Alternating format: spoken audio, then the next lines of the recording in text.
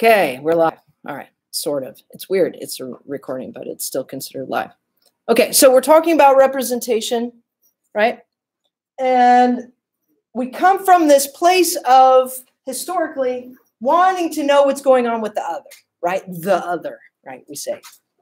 Okay. So a lot of our anthropology has started from that place, from exploration, right? Looking to other places to find other kinds of resources, new lands, right? We hear the story of the term Indi Indian coming from the explorer that was in search of India, right? So we have some complications about this this term Indian or even indigenous, right? So how is it that we came to start being interested in representing people? It was from just wanting to learn about them and having to describe them back home, right? How is the other person different? Why is the other person different? When we first started these kinds of explorations, we had huge questions about why was the other person different. Thinking back to that same time frame around the 1800s, late 1800s, we have Adam Smith asking the question, why are some economies more powerful than others? Darwin asking the question, why are some species more able to survive than others? The same is the case when we get to all of these different sciences, right? And we've had some, like Herbert Spencer, sociologist, that said, hmm, uh, let's look at uh, the human Darwinism aspect. And we then we said, no, that we don't want to look at that kind of perspective because that's a little bit racist when we look at it from those ways, right? So our origins from social science came from this idea of trying to explain evolution, how we're changing, why we're changing, and why we have different levels of equality or power, right, and ability in, in, in those terms, right? So uh, our first anthropologist that's often mentioned is Edward Tylor. Then our second and maybe more notable is Lewis Henry Morgan, right?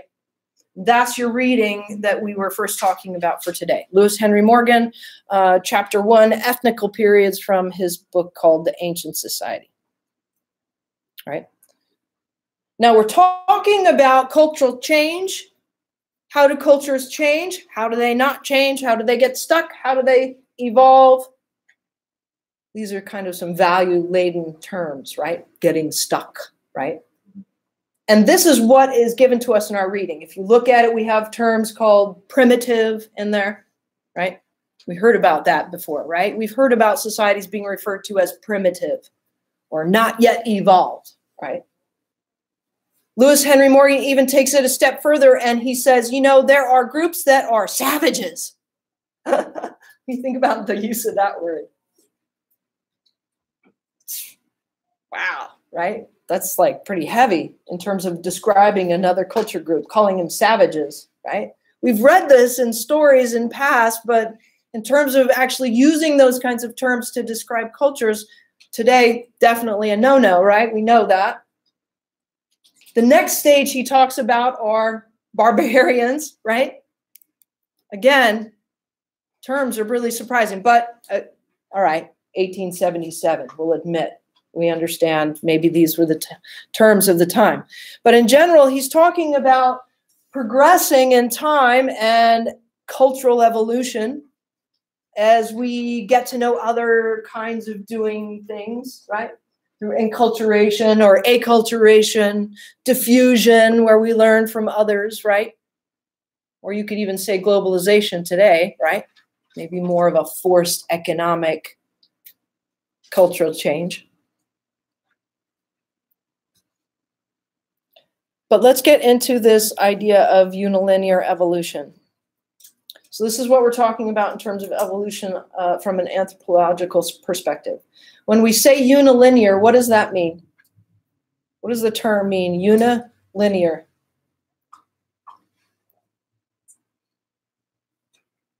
Just break it down into words. Una means what?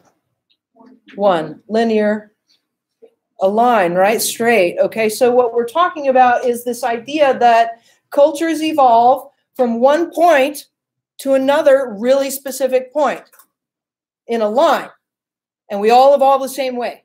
First, we go through this stage, then we go through this stage, then we go through this stage. We can't get to the second stage until we've passed the first. That's the idea, right? So this was the idea that he was talking about. He examined subsistence, government, language, family, religion, house life, and property, right? And then he came up with this really interesting scheme. Okay. says there's three different stages in each. The first level is savagery, right? Where infancy of human race, we fish, we collect, right?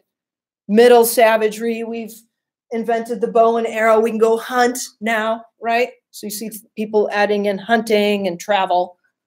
Savagery, upper savagery, we start to invent collecting things. Most specifically, he makes reference to pottery, right? Then from there, we move into what he calls farming and domestication in the stage of barbarism, right? Some construction, some animal domestication in an informal sense, right? And then when we get to the upper barbarian stages, we jump into what we call civilization, right? Where we have written records, okay, uh, and we have a more complex way of distributing our goods, services, and caring for others. Okay. So this is a scheme that we learn about from Lewis Henry Morgan, right? And again, this is what we call unilinear evolution. And in this, he puts native Hawaii in upper savagery. Right? There's been some contact with Hawaii around the late 1800s, around this time. So he's starting to make comment on what is being found at contact. And he says, well, by example, we've placed native Hawaiians in the upper stage of savagery, or just about there, not quite there. Because they didn't invent pottery. Okay. So according to that scheme, that would be exactly where they would fit in his description of things. Now, does anybody have a comment on that issue? Yes. I don't know why, but you look at why they didn't invent pottery. Maybe they don't have that material. Ah, maybe they don't have that material, right? Some islands do, some islands don't, right? Kauai has a, a lot of clay, but the other islands don't. You're right. So, what would we maybe have used instead? What did we use instead? We have some examples. Anybody know them? Gourds, perfect. Anything else? Baskets, a lot of baskets, right? Coconuts. Okay, all right. Yeah, yay. Okay, we got it. Excellent. Well done. Right? So what we find is just because things are different in a given locale, if we maintain this scheme or this idea about the evolution of cultures, it's as if we've put them farther back in comparison to everybody else, right? We're civilized and they're not yet there because they don't have what we said was needed. But why are we even caring about reviewing this work? Because it influences us, because it has influenced us, right? 1998, when I was going to grad school, Canada was putting up a bid for the Olympics. And in their bid, they talked about what it was like to be in Canada. And they said, I'm going to slam on Canada here, right? US is just as bad, if not worse. They said just 100 years ago, we were a nation of savages.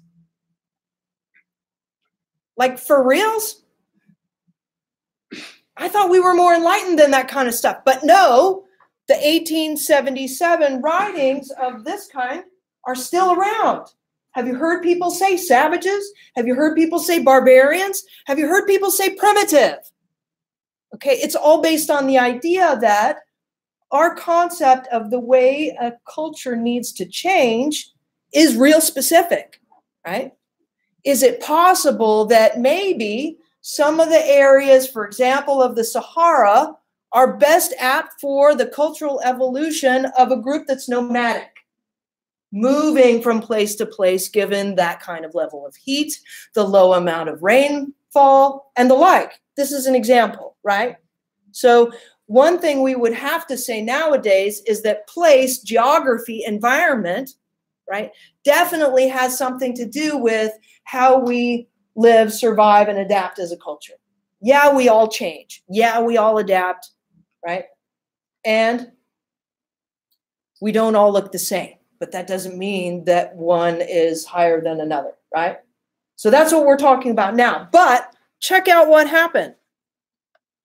This is from my dissertation, and I did this basically to record what the first contact was like for Native Hawaii. And this really determined what happened for them. Okay. In 1820, Hiram Bingham led the first Calvinist mission to Hawaii. His comments were indicative of the Calvinist approach toward the native population. When he first saw Hawaii, he stated, as reproduced in his 1881 publication, the appearance of destitution, degradation, and barbarianism among the chattering, almost naked savages, where heads and feet and much of their sunburnt and swarthy skins were bare, was appalling. Some of our number, with gushing tears, turned away from the spectacle. Others with firmer nerve continued their gaze, but were ready to exclaim, Can these be human beings? How dark the comfortless and comfortless their state of mind and heart. How imminent the danger to the immortal soul, shrouded in this deep pagan gloom. Can they be Christianized? That was the first big publication that was sent back after contact with Native Hawaii. Here's another one. This is the second group. In 1823, Charles Stewart, with the Second Company of Calvinists, said, Their naked figures and wild expression of countenance, their black hair streaming in the wind as they hurried the canoe over the water with all eager action and muscular power of savages. Their rapid and unintelligible exclamations and whole exhibit exhibition of uncivilized character gave to them the appearance of being half man and half beast, and irresistibly pressed on the thoughts, the query, can they be men? Can they be women? Do they not form a link in creation connecting man with the brute? That's contact. That was contact. And because of the lack of immunities to diseases, in addition to that opinion and experience that happened after those opinions were formed, conservative estimates put the population loss of Native Hawaii at 90%.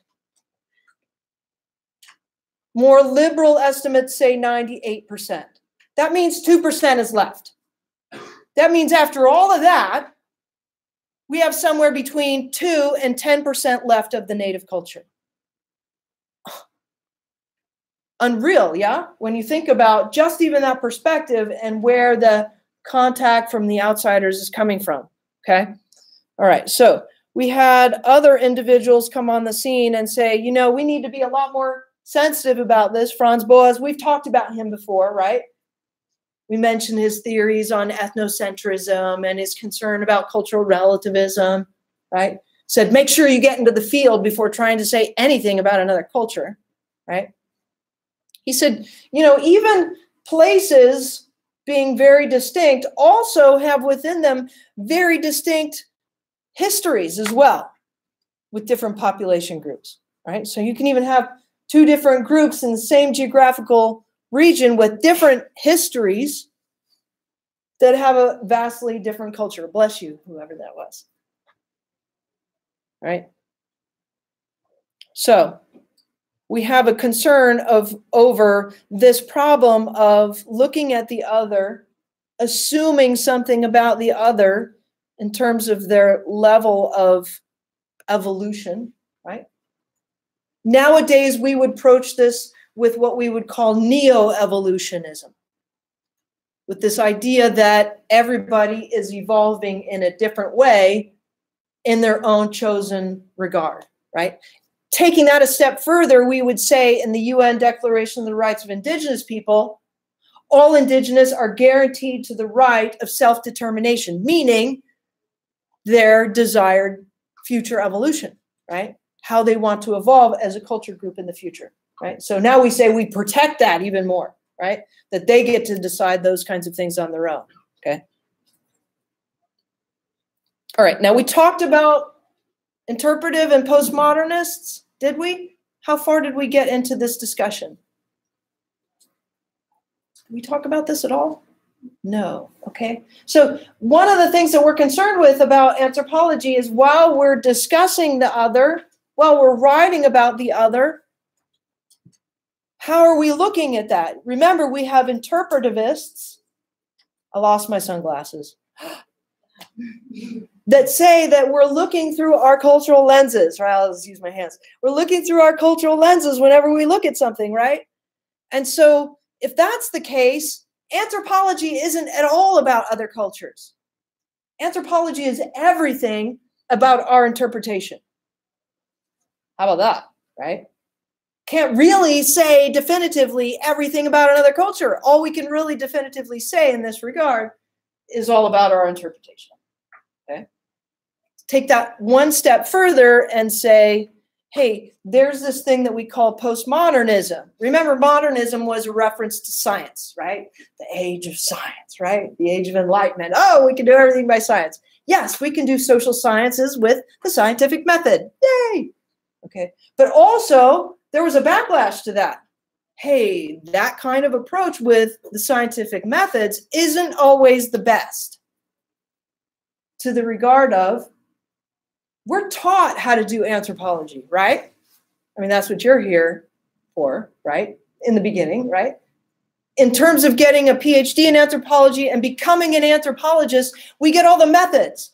Here's how you do it. Here's how you study it. Here's how you write your notes, right? Here's how you get your financing. Here's how you find the field. Here's how you, yeah, we come back and we write and we get guided again by our professors and we spit out our dissertation and we're called anthropologists all of a sudden, right? The postmodernists would say, hey, the work is not really about describing another culture. What we're really doing is just using anthropology as a tool. And what ends up happening is we use it as a tool in dominating others right? Oh, this group is really good at this, or oh, this group doesn't know anything about conservation. Oh, this group has rights, this group does not, right? So if we were looking at things from a postmodern perspective, we would say, hey, the descriptions we have about other cultures are not that at all. All they are are demonstrations of how dominant anthropology is in describing the other and to that regard in a level of control, right? We have this term that's called hegemony. How many people have heard of it? Okay, hegemony, we think that it was maybe a concept developed by Antonio Gramsci, meaning you've been dominated, right? But dominated in such a way, in such a degree that you don't even realize it, right? This is a scary concept for us because we think about it and gosh, I don't want to not know something that I should know, right? Being dominated about something and not even being aware of it, that makes me feel like an idiot, right? But we do it all the time. Think about what we just did in our semester. I went through all this stuff about how we study anthropology talked about archaeology, talked about paleoanthropology, talked about NAGPRA, talked about what we think about Ishi's brain, by example. Yes? Talked about origins, talked about evolution, talked about contact, all these kinds of concepts. Now, I talked about origin stories in all of it, yes? Did I ever once mention any kinds of other origin stories like the Taro being the progenitor of Native Hawaiians as an elder brother? Did I talk about the belief of the sun god? Did I talk about the belief of people being bird like and coming down from the sky? Did I talk about rice as being an origin as well? Did I? No. Corn? No. Didn't talk about that either. Do we know about some of these stories? The Kumulipo, by example, is a big, huge origin chant done by Native Hawaiians. I didn't bring that one in either. So guess what? I did it to you. I hegemonically chose exactly what I wanted to represent as the anthropological explanation of origins. But I did you a disservice because I didn't incorporate all that could be possibly included in anthropology in talking about origins. Yeah. Heck, I could even have talked about creationism and how we were started 4,000 years ago on October 4th or something like that right? Or I could have said hundreds of millions of years ago, right? So we do this a lot in our work, we do this a lot in our representation, and we do this a, a lot in the classroom even. Right? So uh, we have some strengths and weaknesses of the approaches of uh, interpretation, interpretive and postmodern anthropology. Strengths, all right, obviously we're focusing on the issue of bias, okay? And our attempt is to really, really come up with what's going on with our own biases. We're concerned with misrepresenting, which often means that we're very, very careful about that issue of representation, right? Right, okay, in terms of our concern of damaging culture. Now, weaknesses of these kinds of methods might include the idea that, hey, I can't definitively say anything about another culture. And if that's the case, what am I trying to do in terms of applied work? Okay, so uh, being able to apply observations and affecting change can potentially be problematic in this area, right? Okay, so assisting others can maybe be a problem. All right, so what about an alternative approach to anthropology? What about native anthropologists? Right, I'll talk about this in uh, uh, relation to a story. Uh, one uh, a story that I have from when I was in Hawaii, right? And one of my friends, also current leader of uh, the Mayangna Nation, Central American representative of indigenous people for Nicaragua, very high level individual. It's only about this tall. He's about maybe just turned 40, so he's pretty young, right? When we started, he was only like 23 or 24, very young, right? And one of the things that we wanted to do is bring him to the States and introduce him to other groups. And uh, I brought him to the Morongo. We met the Morongo, went to the casino, talked to elders there. It was really fascinating. Then went all the way over to Oahu. I wanted him to see Bishop Museum. How many people have been there? One. Anybody else? No, no, no. Oh my gosh. I feel bad for everybody else. It's so awesome, isn't it? How great. They have a planetarium. I mean, it's just everything. They have everything there. You should go. Okay. So if you go to Oahu, go to Honolulu, definitely go to Bishop Museum. Set aside by funding from Bernice Pauahi Bishop. Remember, we talked about Kamehameha schools, how they got sued. You remember that group? Yeah, okay. Same lady, put aside money for this group as well. Huge campus, multiple buildings, multiple levels, right? I take him through some of these incredible exhibitions, and he's like, wow, this is amazing. I really, really want to have a museum for the Mayangna people. We've been talking about this. We want to do a museum. We want to have a special place where we preserve our traditional environmental knowledge. Sounds awesome, right? So great. Okay, so we kept going around all the exhibits and we came to the last one and it was this little like enclosed area and a little wood thing, a little weird looking kind of wood tool that was black, kind of stained, had this weird kind of little prongy thing on the end of it. It was only about this. I had no idea what it was. And he went, trying to figure out what it was, right? He goes, the heck is this? I went over and looked. Oh no. Oh no. Right? Like I'm like stressed out about how I'm going to explain what the heck this is. And he says, what, what is it? And I said, Well, it's from Fiji. And it says it's a fork used to eat people. And he looks at me and he goes, I said, well, what do you think about that? Right? I'm just waiting for him to tell me what he thinks. And he says, did the Fijians decide to put that on the exhibit? And I, said, I don't know. I'm guessing not, right? What do you think? Is I don't think the Fijians decided that out of this whole entire museum that that was the one thing that they wanted to represent their culture. And I said, you know, I probably, I bet you're right. I mean, it's it seems pretty horrific when I think of it myself, right? I mean, this is the only thing that we saw from Fiji, and this is what was there. Little tiny description. I I I don't think that they were involved in the decision, right? And he says, I'll be damned if I'm gonna ever have an anthropologist represent me and my culture. That's horrible. Got it, right? You can get it, right? Like somebody decides, oh, this is the thing that we want to represent this is the thing that tells the story. And then all of a sudden, there in somebody's museum is the story of the Fijians. And all we have about them are that they're viciously eating human beings with these forks. Right? Says, I don't want anything to do with that. That's misrepresentation in a grand scale. That makes us look like savages, right? Barbarians people that aren't even human. And I'm wondering if they were even asked. Right?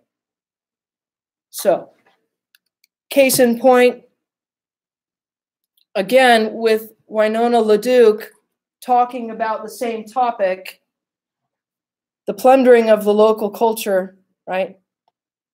And looking at the local culture almost because we have a fascination with it, right? You know, we have these trends even in fashion these days. Do you know what I'm talking about? Where we have this fascination with the indigenous dress, and now all of a sudden we've brought it into the, the catwalk, and we've got this display of the traditional dress as if it's fashion, right? This is one of our examples of this kind of thing even today, right? also fascina- fascination with the, the spiritual aspects of it, right? Like the smudging and the as a popular kind of obsession with the culture of the other, right? So uh, one of the things that she talks about in uh, her uh, writing, let's take a look at it. Let's just let's see. Maybe we should just can't get to it. It's not letting me get out. Hold on. Okay, well, we'll just stay focused in here. Let's take a look at her reading. All right. She starts off talking about Ishi. So this is kind of interesting that we've already taken a look at this, right?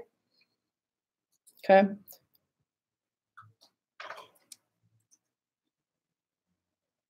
California being rich in gold. Did we talk about the 49ers in this class? Who were the 49ers?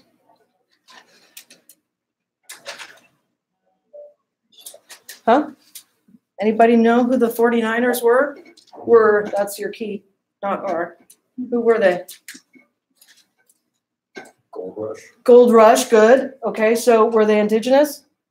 No. Okay, so they were the non indigenous colonists, right, that arrived?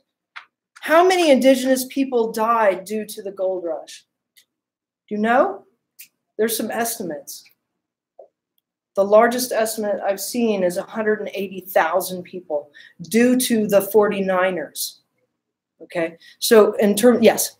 Because they were chopping down trees and damming rivers and digging holes in the ground. Right, right, and they were skinned, and they were even there was some paying of people to uh, cut off heads and present them. So that I mean, there were million. Uh, there was uh, about a million uh, one hundred and seventy thousand dollars that were paid for that activity alone in California. Unbelievable, yeah. Okay, so interesting that we uh, have some of these, uh, by example, sport, sports teams and other terms making references to these times and and not not always a complete amount of knowledge here. Okay, so. Um, let's see, I, there's a couple of things in here that I wanted to talk about. There's Ishi. She goes into talking about Ishi's brain. You see, and Ishi's descendants. Make sure you get to reading about that. We'll talk more about this when we come back. Let's see.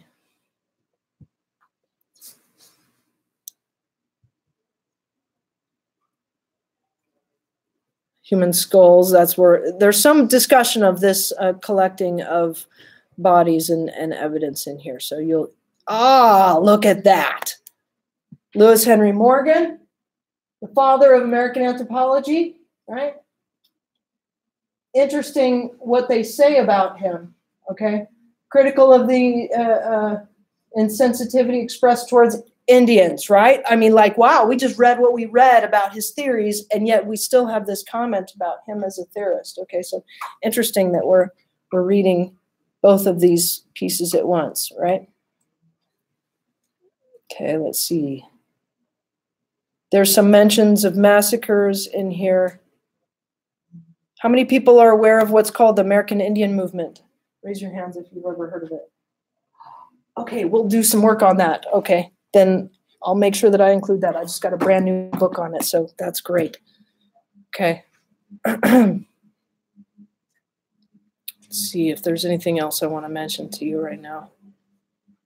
NAGPRA, yes, okay, yes, yes, yes.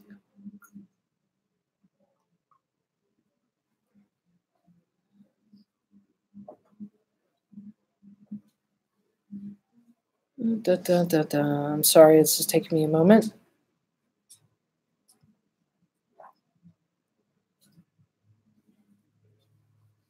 I can't, I think maybe that's all I have for uh, this this reading. Okay, yeah, I think that the most interesting comment that summarizes a lot of that reading for you is uh, that last one. Where is it? Here. Who would think we would have to bury our ancestors twice? Right? So, uh, tell me your thoughts on the film Who Owned the Past? Who Owns the Past? Just some brief comments on what you saw from last week. Yes. The idea that the tribes took a bunch of gold stones and then just and bones that weren't theirs, put it up on display, it would shut down immediately. But we do it and nobody seems to care except them. Right. It's just wild. Even the roadside track can be opened up to display bones. To display bones. Crazy thing. And yet we've been doing it for a while. Yeah. Okay, good. I'm glad you guys are learning about this. Any other comments? Surprising things you may have learned? Yes.